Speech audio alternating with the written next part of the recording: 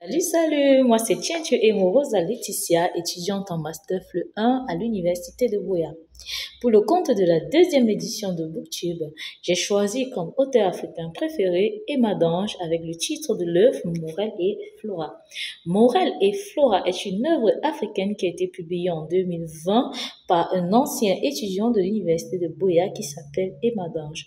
Alors, c'est une œuvre qui met en avant l'histoire de trois personnages principaux, à savoir Eric, Morel et Flora.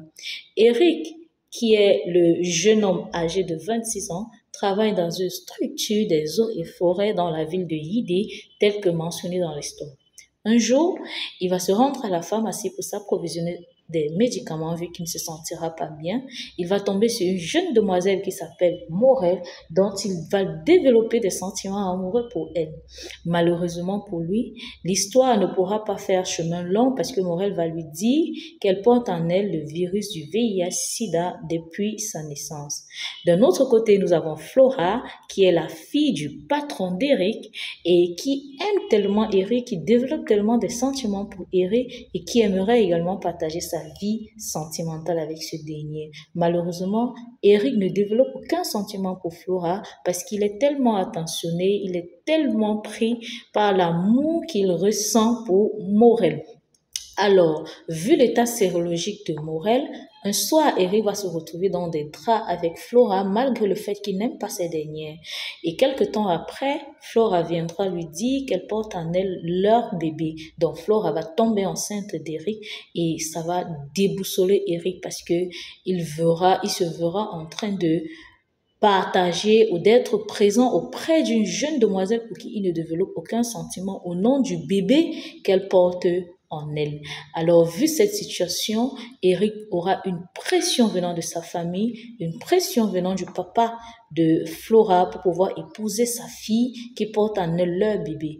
Alors, Eric sera déboussolé, il sera meurtri, il aura le cœur déchiré, tel que vous pouvez constater sur la première de couverture, parce qu'il sera contraint d'épouser une jeune fille dont il ne développe aucun sentiment pour elle. Par contre, celle pour qui il l'aime tellement, il ne pourra pas euh, l'épouser, il ne pourra pas aller plus loin vu son état sérologique.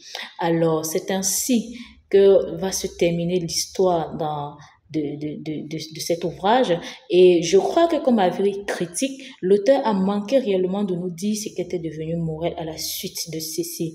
Parce que bien que Eric ait épousé Flora, l'auteur ne nous dit pas si après, vu l'état sérologique de Morel, si elle a, si elle est morte ou alors si elle a décidé de s'engager dans une relation avec quelqu'un d'autre. Là, c'est ce que l'auteur a omis de nous mentionner dans ce magnifique racontage.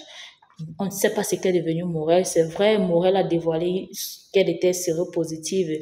Vu son état, Eric ne pouvait plus continuer la relation avec elle. Mais est-ce que, après ça, est-ce que, vu son état sérologique, bien que Eric se soit marié avec Flora, ne pourrait-elle pas engager une relation avec quelqu'un d'autre? Est-elle décédée? A-t-elle poursuivi avec ses travaux euh, à la pharmacie et au centre de santé tel qu'elle le faisait? Là, c'est ce qu'on ignore.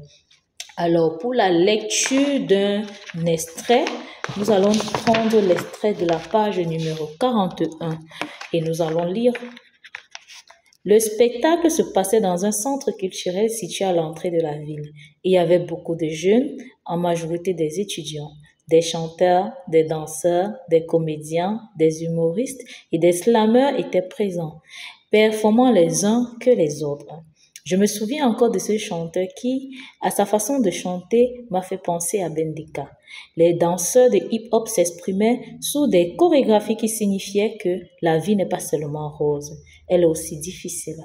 Il y a aussi cette petite lameuse qui m'a fait penser à l'idole que je considère comme la meilleure dans mon pays. L'humoriste m'a fait éclater de rire quand il a dit Le riche et le pauvre n'ont pas la même manière d'arrêter l'argent.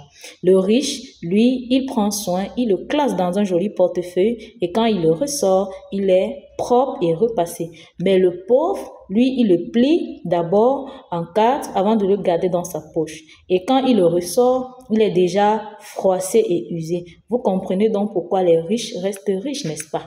Alors là, c'était mon intervention pour la deuxième édition de BookTube. Merci et à bientôt.